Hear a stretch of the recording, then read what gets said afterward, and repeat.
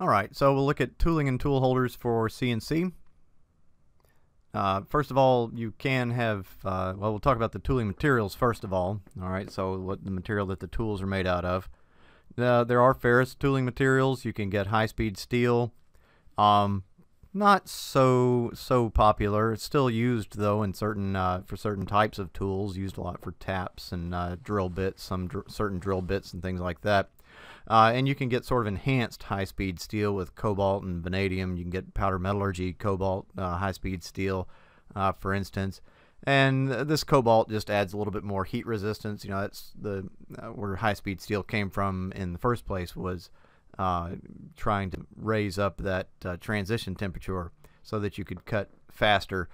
So you will see some some high-speed steel cutters, more or less, uh, you know, becoming obsolete, I, I guess, because most of what you see out there are inserted tools, uh, at least, uh, you know, well, yeah, most. So uh, most tools are going to have some kind of an insert and they're going to have some kind of a hard metal. Uh, and, you know, the things that get classified as hard metals uh, are these here. So you've got, let me turn that pointer on. All right. So the carbides, and by an overwhelming margin, uh, these carbides, when we say carbides, generally we're talking about tungsten carbide. Uh, so these tungsten carbide inserts, really good balance between hardness and toughness and so that's why they are so popular. So you have various grades of carbides, and we'll talk about this in just a second. Uh, I'm not going to break them out by carbide grades, uh, but there are different grades of carbides. It's not all created equal, uh, and there are also a wide variety of coatings that are used on carbide inserts, and in fact, these other types of inserts. So I might as well go ahead and talk about the rest of these. Um, so there are cermets, which uh, generally uh, carbide, uh, tungsten carbide is actually a ceramic, and I don't mean to confuse things here, but since it's such a big group on its own, uh, the other ceramics get classified separately.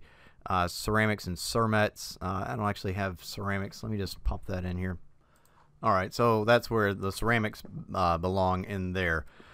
so really, if you if you go along the uh, the spectrum, you start with high-speed steel and you go down all the way to polycrystalline diamond, uh, you're increasing in hardness and you're decreasing the toughness of the tools. So uh, really, you have to lower the feed rate as you move down this uh, column, but you can increase the cutting speed. So you can have much, much faster cutting speed as you go down toward polycrystalline diamond here. So increasing hardness as we move from uh, high-speed steel and here to, to the non-ferrous tooling materials, carbides, and then the cermets, and then uh, pure ceramics. So these are these are basically uh, titanium carbide, titanium nitride. These are ceramics, all right, and tungsten carbide. It's a ceramic material. But like I said, since tungsten carbide is such a big group, it gets classified uh, here by itself. And really, uh, to make things even uh, more confusing, uh, we have these ceramic materials that are bonded together in a cobalt binder. Well, that's the same way that uh, carbides are done the same way. Um, but then we can also have uh, these pure ceramic materials uh, that don't have a, a, metal binder. So they're called cermets because they're ceramic metal uh, metal uh, composites. Um, but the ceramics don't have the metallic binder inside. And then cubic boron nitride and polycrystalline diamond or PCD uh, these are sort of the uh, these are the hardest of the cutting tool materials. They're very long lived. Uh, also, ceramics are too, but you take things up just another notch uh, with uh, PCD and CBN. The polycrystalline diamond uh, good for most things non-ferrous. if you start machining ferrous metals with polycrystalline diamond, you'll have premature wear because the diamond is actually soluble in the uh, iron. Okay, so when you have high speed cutting uh, with polycrystalline diamond of something like steel, you're going to have premature wear. So it's generally not used. CBN is used for uh, machining ferrous metals uh, at high speed like that. All right, so I kind of uh, uh, hinted at the fact that there are carbide grades, and there there are so you can find let me just drop down here I'll skip ahead to a site you can find the ANSI uh, carbide grades uh, here uh, C1, 2, 3, 4, etc. Uh, the trouble is, um, it's a little bit difficult to rate all of these different materials, these hard metal uh, cutting materials, um, in terms of their grades. And for somebody that's trying to use these tools, uh, what they're really interested in is not so much the grade of the cutting tool itself, or, the cutting tool material even. What they want to know is this going to cut my austenitic stainless steel? Okay, and so what you wind up, what's what's actually makes more sense, is to have these ISO machining groups where you you classify the cutting uh, the cutting tool insert not by the grade of the carbide and, and you know the, the, the coatings that go on there. You don't need to be a tooling engineer to to source the right uh, tool. What you have to do is know the material and the condition of the material that you're trying to cut. Okay, and so a much better approach is to know what you're cutting and select a cutting tool based on these ISO machining groups. Uh, let's see. So it's good to memorize these and kind of know what they are sort of good for. Uh, P is the steel group. M is, uh, think of it as the uh, stainless steel group. K is for cast iron. N for non-ferrous metals. S for superalloys. And H for hardened steel. All right. Uh, so over here we have this. Uh, this is an example of a cutting tool insert package and you can see it's it's good for P and the K group okay? And in fact they give you uh, some numbers on here. So let me go in and uh, at, since this is supposed to be a little bit of a review uh, since in 1711 we've talked about speed feed and depth of cut um, then you should be able to pick apart uh, some of what's in here. Also we'll we'll drop back we'll talk about this in a little bit. Uh, this uh, is again hopefully a little bit of a review this is talking about the size and shape of the insert and the geometry of the insert itself. Uh, but for now, we're going to say see all of this stuff on here. Uh, you know, a lot of people just ignore this. They're not sure what this means. Um, let me try to, to break it down and show you an easy way to kind of understand what this stuff is. First of all, you you do the hard work of memorizing the fact that this is for steel. Okay, so the P group is uh, numbers for steel. Uh, and in fact, a lot of uh, manufacturers will break this down into subgroups even beyond just P. Okay, uh, we'll see that in just a minute. All right, so here we have all these weird numbers. Okay, uh, now these are pretty consistent ISO abbreviations uh, for cutting speed and for uh, feed rate and for depth of cut. Um, but you don't even have to memorize that, okay? Uh, let's just say that we're in uh, in the United States and we're in inch and feet world, and we can see on here something familiar, okay? Here the units are inches, okay? And the, the value here is 0.098, and we can see we have a range from 20 thou to 157 thou. What could this be? Okay, well, there's only one of our choices from speed, feed, and depth of cut that has units of strictly inches. Okay, and that's going to be the depth of cut. So this is that axial uh, depth of cut, and we'll talk about, or sorry, radial uh, depth of cut along here, and we will talk about that in just a minute. But this is the depth of cut. It has in, units of inches, and so what you can do is spot on here. Okay, I'm in this P group, uh, this is 098 inches, and this is the, the suitable range. So this is kind of the design, uh, the design uh, uh, value, and this is the range of values. Uh, so F sub n, gee, I don't know, what does that mean? All right, well, we look at the units, inches per revolution. And again, that can only be one thing. That has to be the feed rate, okay? So 0.012 are, is the uh, designated or the design inch uh, feed rate in inches per revolution, and we see we have a range from 6 to 20.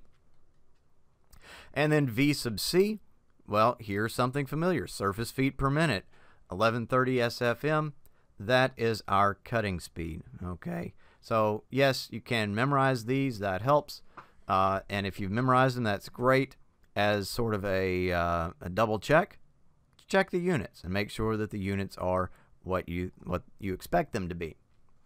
All right, so you see that's not that's not uh, too terrible once you once you understand what you're looking at there. Uh, and this is, you know, when you buy inserts, you're going to get pretty easy access to this information.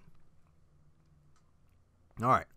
Uh, in fact, well, you, you should be buying the inserts. You know, you're going to buy them based on the job to, to you know, the years you, you've bought to, to cut steel. All right.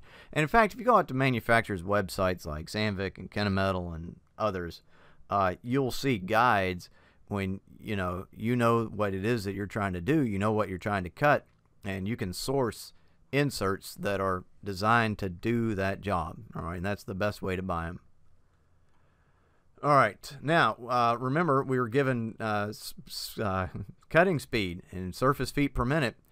Keep in mind that's not the RPM. Okay, the RPM you have to calculate. What do you have to know to get the RPM? Well, you have to know the diameter. All right, because the cutting speed is going to vary as you go in and cut, and so to uh, for like for milling, uh, you'll need to calculate the diameter. Now with uh, with CNC, uh, there are cases where you can specify the surface feet per minute. Okay, on a lathe, you can say that I want to hold this constant, and the machine will compensate. It will it will speed up the the uh, the RPMs as you approach the center of the tool. Now, of course, you'll have to set a speed limit, and you'll do that with a G50 uh, and, and, that will set the speed limit because as you as you get smaller and smaller, as your diameter gets smaller and smaller, this thing would have to go faster and faster, and there's only so fast that it's you know going to be safe to go. So you set that speed limit uh, with a G50 and uh, on a lathe, and but anyway, you can specify the cutting speed. Now on a mill, you're generally going to turn on the uh, the spindle at some certain RPM it will be the same formula. Okay, this 12V over pi d converts a spindle speed, uh, or sorry, a surface speed uh, at a certain diameter. It will tell you how many RPMs uh, to set it to to get that cutting speed out of that diameter. So all you need to know is that this is VC, so 12 times VC, the 1130, divided by pi times the diameter. Let me tell you how people screw this up, okay? they punch into their calculator 12 times 1130 and then they say divide by pi and then they say multiply times the diameter. Well, that's a completely different formula, okay? What you want to do is say 12 times 1130 and then uh, divide by open parenthesis pi times d close parenthesis. You want to make sure when you do this that you're dividing by pi times the diameter and not dividing by pi and then multiplying by the diameter. So just to show you that, this is this would be the difference, okay, between a, a right answer and a wrong answer. They both say uh, 12 times VC divided by pi times A5, which is the diameter, okay. Uh, the difference is the parentheses, okay. So this one is using the parentheses to say we're dividing by this whole thing, we're dividing by pi times d, and we're not dividing by pi and then multiplying times d. So uh, that is that is very commonly missed, so don't fall into that trap. Uh, let's see, so uh, I have tried to get access to this ISO 513 uh, 2012 standard. I have not gotten it yet, okay? And I, so uh, I've seen some people say that it breaks down into subgroups like this uh, with increasing uh, wear resistance toward the top, that is increasing hardness toward the top and increasing toughness towards as you get larger numbers. Okay. Um, I've also seen different manufacturers break that out differently, so I can't say definitively what the what the case is uh, with the subgroups. Okay, um, but when you when you start shopping for the inserts, you will definitely see subgroups, and I've seen different manufacturers break down these groups differently. Okay, and so that's why I'm saying that. Is I've seen it done different ways. Uh, so just pay attention to your manufacturer and, and make sure that uh, that their subgroup means what you think it means. So that's when you're looking for a you know specific steel and a specific hardness uh, is when you start breaking down this, this P group, for instance. Uh, let's see here. Oh, in case you were wondering what the PMK, uh, all that stands for, uh, they come from these German words. All right, so I don't know if this helps or not. Uh, but uh, maybe maybe that'll help a little bit. But with with S, you know, special alloy, alloys or super alloys that begins with an S in English as well. So does hard, and so does non-ferrous. And so the S, H, and N are pretty pretty much gimmies. K sounds like cast iron. Uh, M, uh, I don't know. Stainless steel is what it what it means. All right, and then P is for steel. Uh, the coatings are super important. Okay, first of all, there are a variety of coatings, uh, and uh, this almost really, you know, there are there are certain ones that are kind of old, reliable, tin and tick. You can even get diamond coated tools. Uh, titanium nitride is super, super common. That's that gold colored uh, uh, coating that you see on a lot of inserts and a lot of even high speed steel uh, because it has a very, it's a very hard, long lasting material and it has a really good low coefficient of friction. So it has good friction properties uh, very uh, very hard material it's just an ideal cutting tool material uh, almost just general purpose. Uh, you will see a lot of times tools for like aluminum are uncoated uh, but other than that this titanium nitride very very popular. And and these break down they're uh, not just a single coating but a lot of times more often than not really uh, manufacturers of inserts will have multiple layers of coatings, and uh, that will be a selling point for their specific uh, inserts. Yeah, it's probably good to know that there are two main ways of getting those uh, coatings onto a tool. There's PVD or physical vapor deposition and CVD or chemical vapor deposition. And the big difference uh, is that the PVD makes a thinner coating better for sharp pointed uh, tools and CVD is a thicker coating, uh, which is long lasting, provides some good heat uh, resistance. All right, uh, again, this should be a review about insert geometry. Remember that there is a code. Uh, we saw earlier, uh, let me just pop back up there, there, right there. Uh, these two codes, basically interchangeable. you know, this one just gives sort of metric sizes. This one gives ANSI inch inch designations. So this is the ANSI code, this is the ISO code. Uh, and there's a lot of meaning packed into that, which of course you already know. So uh, this comes out of the ANSI B212 standard. Okay, the first character is the the first character in the in the code, the first digit, if you will, is the shape. Okay, and you know you've got these different shapes in this column. This is only a, the beginning of this chart. Uh, if you're in my class, uh, I've given you access to the standard, uh, and you'll want that standard for quiz purposes, but this is the shape. Two is the clearance, uh, then the tolerance class, the type. I'm not going to read these to you, but but you know that there are there's meaning packed into that code. All right, so uh, when you start shopping for inserts, you'll, probably be overwhelmed at this. You know, you say just just give me give me a half inch diamond shaped insert for heaven's sakes. Um, but good to good to talk to a supplier, know kind of what's popular and common. Uh, get advice from uh, from people when you're buying these. Uh, make sure that you're going with something that's uh, that's that's going to work. Uh, there are, you know, there are websites. Most of the cutting tool manufacturers have some really good websites uh, on cutting tool selection, and you know, you have to have a somewhere I've got down here. Yeah, so you got to have a holder that matches the cutting tool insert that you're gonna that you're gonna buy. And like I said, the best place to go for that is you know the manufacturer's uh, uh database and their their online tools. All right, so I think this is where we were. Uh, you should know that there is some there's some trade-offs here between uh, shapes. This is increasing strength, so this is your strongest shape over here. So I guess decreasing strength if you're going across. Uh, this little uh, diamond shape is the weakest shape, but it gives you the most versatility. You can you can uh, get that shape in to more little nooks and crannies uh, than you can with a big round tool. So it's a little bit more versatile in this direction. Also, you wind up with increasing chance of chatter in this direction. Um, you know, uh, one of the biggest ways to get chatter is to have a, a round tool that's cutting a diameter that's the same diameter of its own roundness, and that's kind of what you get when you have a big round cutting tool like that. Also, the power requirements are higher on the left side. All right, so uh, let's make sure that you can calculate uh, speeds, feeds, and depths of cut based on some manufacturer's uh, recommendations. Here again, that's that same formula that we saw before. All this does is say if I've got a certain diameter cutter and I know what the cutting speed should be in surface feet per minute, and this only works for surface feet per minute. This is not the metric version. Sorry about that.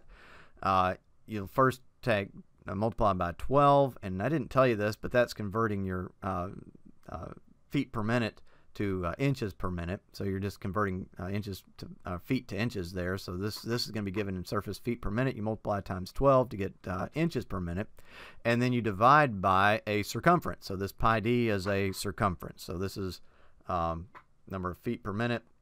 This is the the velocity out on the circumference of the tool, and this is uh, how many uh, how many how big is the circumference of the tool. So that gives you the number of revolutions per minute.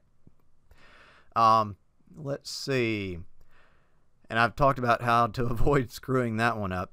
Now to calculate the feed rate, uh, what you're going to be given on a diagram like this, let me drop down and zoom in here a little bit, uh, is the chip load, and you'll be given VC. Okay, so this is just to set the, um, well, first set the RPM. Okay, so you're given VC, and you'll set the RPM. And then you're going to be given the chip load. So you're going to select that based on the diameter of the cutter. So here we have a half inch diameter cutter. Uh, and this is a European catalog apparently. So they've got the decimal place is a comma. So this is 0.003 inches of chip load. Uh, let's see. I, I, thought I did a drawing of that, but I don't. Um, anyway, that's the size of the cut that each tooth on the cutter is going to take. Okay, so 3 thou is the chip load. So if we come up here and we want to set our feed rate, that is how fast we want the tool to feed in inches per minute, we will take that chip load. In this case, we got our half inch diameter cutter. We're going to take 0.003 and we're going to multiply that by the number of flutes. So if we have a three flute end mill, we'd multiply that times three. That means we've got three cutters, three cutting edges uh, once around on the cutter. And then we multiply times the number of RPM, and that will tell us the feed rate in inches per minute. All right, so that's just strictly multiply, multiply, multiply. Very difficult to mess that up. Just make sure that you're getting the right numbers off of the chart. And really, of course, you have to calculate uh, the RPM from the given VC. Okay, and here you're given a range, and of course on a test I'd probably try to give you one of these values. I wouldn't give you a range. I would say if the surface feet per minute or VC is 520 surface feet per minute, uh, then what would be the feed rate in inches per minute? And you'd need to know the diameter of the cutter to get the chip load, the number of flutes, and you would calculate this based from, from back up here. Okay. All right. Then they give you uh, these different depths of cut. Okay. Uh, so this is a separate issue. This is how much you can engage the material. How deep can you go with that cutting tool? Uh, and here they're telling you that the uh, the axial depth of cut, that is the depth of cut in this direction, uh, is 1.5 times d. So that's one and a half times the diameter of the cutter. And the um, the radial depth of cut is the distance uh, in the radial direction. Okay, so that's this dimension. And that's, they're saying, is a half diameter. So again, if our cutter was a half inch in diameter, uh, this would be a quarter of an inch. And this would be, uh, what, uh, yeah, three quarters of an inch. All right, so, uh, so one and a half times deep. All right, now if you're slot milling, you have a different uh, condition. So now you've got, instead of having the radial engage uh, of, of half D, if you're going slot, then uh, then there is no AE. Okay, this is kind of fixed. Your the the radial depth of cut is fixed, and the deepest that you can go is AP, and that's you can now only go down one diameter. Okay, so this this slot would be a half inch wide and it'd be a half inch tall if we're using this half inch cutter. All right, so make sure that you understand what you're looking at. Uh, I have found that these these guides are actually pretty good. Okay, they are only a starting point, but they're a best case starting point. You say, well, how do you get hold of this? If you go out to like MSC Direct and you buy a Hanita Sturdy Mill uh, solid carbide cutter, there might not be that much information on the on the catalog page that you bought that tool from. But what you do know is the manufacturer and the the actual uh, manufacturer's part number. So what I would suggest you do is go find that manufacturer's website, and they will have uh, pages and pages of stuff like this uh, for that specific tool that you've bought. So this is not a, you know, you can get sort of general information out of Machinery's Handbook and things like that, but going to the manufacturer's website and getting the actual data for the actual tool that you're using, uh, I have found to be sort of the best case starting point. Uh, let's see. So that slide's maybe a little bit out of sequence, but you should know that there's a similar standard for the tool holders as there is for the uh, inserts, and this is essentially for lathe uh, work.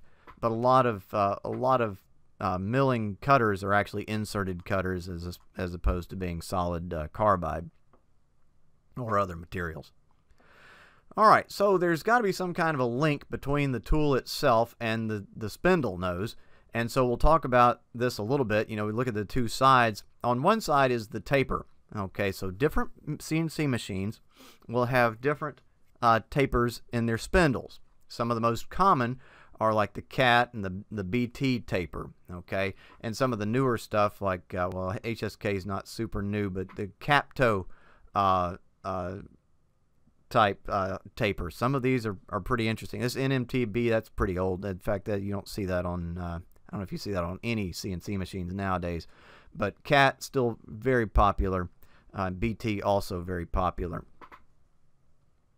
Oh, here's here's some of those. All right, so uh, the CAT 40 is, is the taper that we have in our uh, uh, machines downstairs. Um, a BT30, this is just kind of a size comparison. There's also a 50. Uh, we don't have a 50, uh, but it's it's a much larger uh, designation. So the, the 50 is bigger than the 40 is bigger than the 30 uh, in that in that respect. Then this is the Capto. Um, this is a uh, it's a polygon shape, and it's also tapered, and it and uh, it's a pretty neat design. you know, it's it's not going to rotate in the in the holder at all. Uh, over here, you have to use these drive lugs for the cats uh, for the these tapered uh, um, uh, tool holders. So that's what these little uh, the drive lugs fit into these uh, these slots. That prevents any kind of rotation, and the pull stud keeps the the keeps the holder retained. So on older machines, you might have a Morse taper or something like that that self locks you don't really use a lot of self-locking stuff on uh, CNC because you want to be able to change the tools out. You want the tool to be able to turn loose of the holder. So the pull stud does the job of retention and the drive lugs on this kind of holder do the job of transmitting torque. Uh, on the Capto, uh, it, it all happens the same way. Okay, so you have um, inside here there's actually a, a, the drawbar engages inside of the capto and it's also threaded so uh, you these are modular so you can actually add like a, a uh, an extension uh, unit on here to make this thing longer or shorter. Well not shorter maybe but longer. Uh, and it's got like I said this polygon shape which is actually also tapered. And the part actually rests it it uh, it it makes contact with the spindle around the tapered part of this polygon and this, this flat face. Same thing with the HSK, makes contact with this tapered part on the outside, drawbar connects on the inside, and it also mates with this flat face. And the reason for that is there's this phenomenon when you start getting really high speeds, uh, is that the spindle will actually, under the centrifugal force, will pull on that spindle and open it up. And if you're not, uh, if you're only making contact along this tapered surface, then that tool can actually pull up into the spindle uh, and shorten the effective length of the overall tool assembly. And that's what this flat surface that you see in the HSK and the Capto uh, will prevent. So at really high speeds, uh, they don't pull up into the spindle anymore. They rely on this face to maintain that speed or the, the, the length. All right. At the other end, there are different ways of holding the, the tool in the cutter or in the in the tool holder. Okay, uh, this this is uh, an R8 uh, tool holder off of a manual mill, uh, but it's what I had a picture of readily. So this is I wanted to show you the Weldon shank.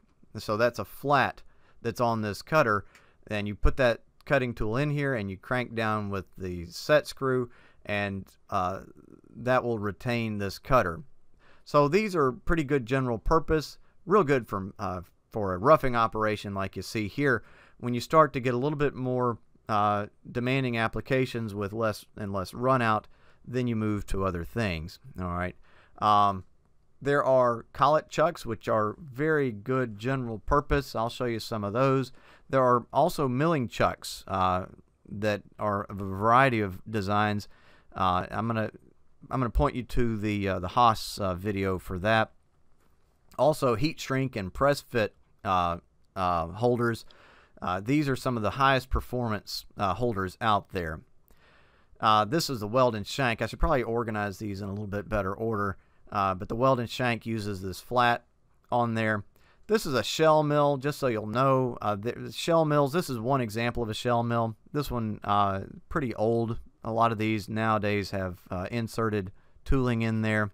Uh, but a, a, shell mill is basically a hollow cutter that can be held in different types of uh, holders. And then there are arbors uh, for holding things like slitting saws. All right, so there are milling chucks, and like I said, I'm gonna. Well, these are some uh, some example videos, and I'm gonna refer you to those. They are in the the links in the um, uh, in the video or in the in the lecture uh, file. And uh, this is a, a, hydraulic chuck. We've got some of these uh, downstairs, and I'll let you uh, play with some of those. But they're they're really uh, these are a neat thing. So by just tightening uh, this little set screw essentially down here, you're compressing the fluid that's inside here. There's a liquid inside here, and it will compress on that tool and hold it. And these are really nice high performance chucks. Uh, this video, I've I think enough of it that I'm going to uh, put it on the quiz, so uh, consider this uh, part of the lecture. All right, so I'm not going to play it here, but a really good video on tool holders, uh, much better than this video.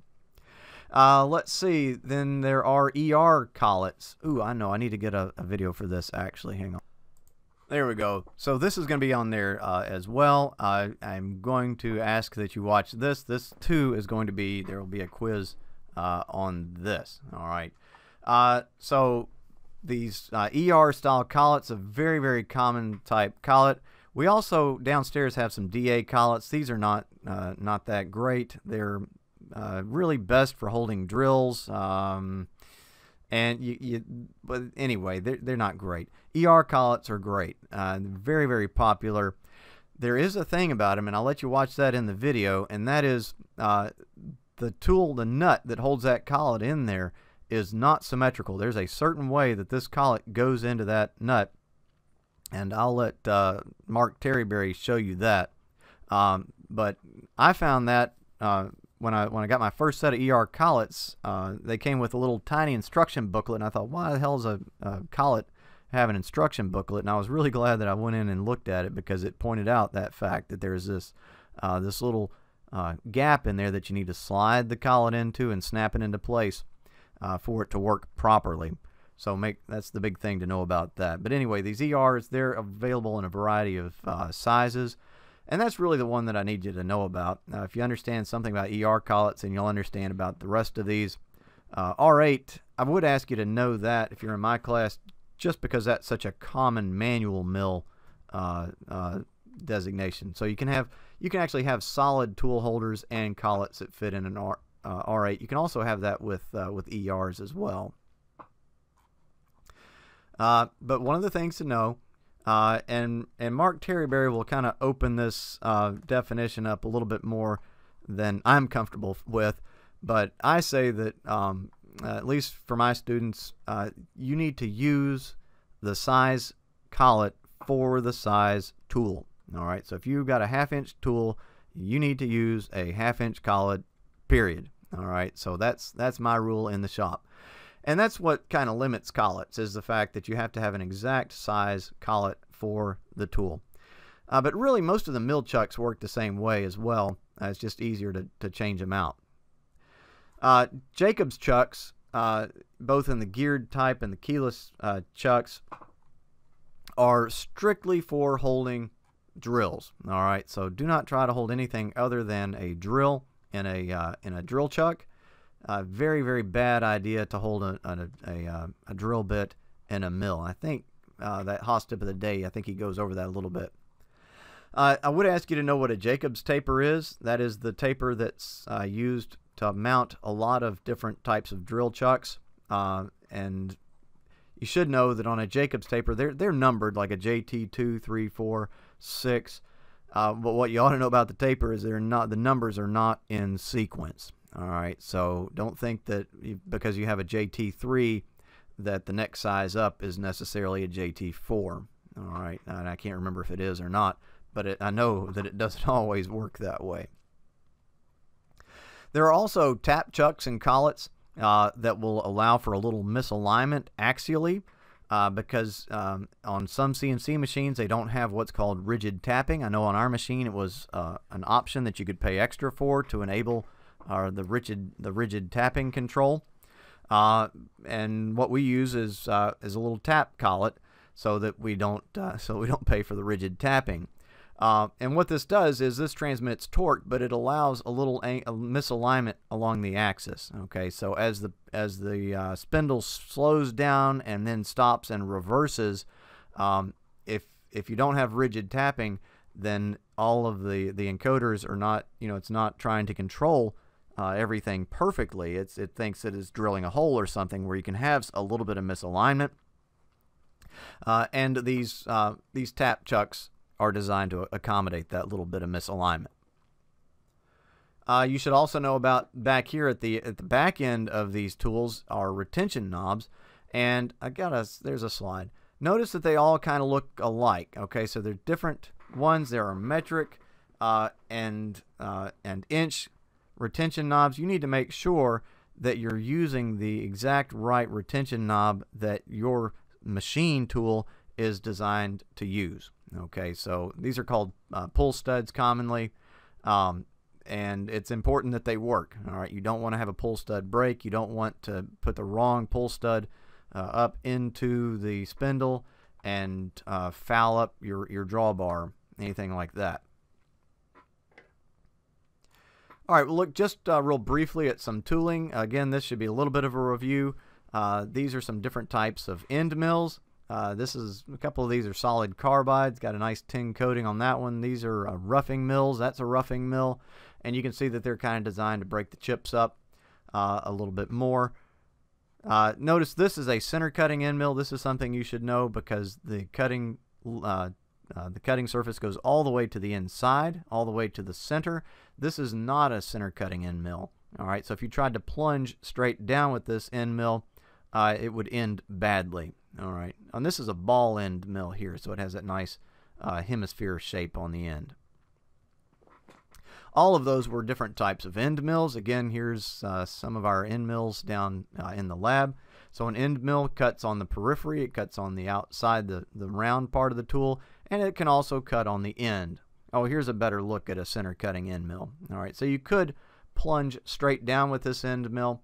In general, what you want to do is kind of ramp in, uh, but you you can uh, you can drill straight down with an end mill.